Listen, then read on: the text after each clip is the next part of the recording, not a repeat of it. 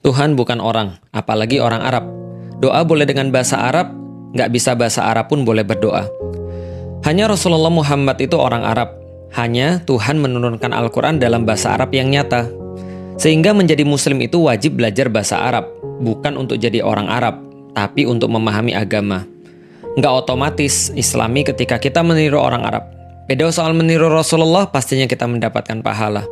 Para munafik mengidentikan Islam sama dengan Arab, maka mereka mengkritik Arab untuk menyerang agama. Ejekannya, kadal gurun, padang pasir, unta Arab. Begitu orang Arab bawa uang, jadilah jalan layang diganti nama. Jadi sebenarnya mereka bukan nggak suka dengan Arab, tapi sebenarnya mereka nggak suka dengan agama. Lucunya, yang bilang begini nama-namanya juga Arab. Abdullah, Abdurrahman, bukan bahasa Indonesia. Kalau saya sih, sebagai muslim malu nggak bisa bahasa Arab. Bukan malah bangga dan buat kontroversi di media.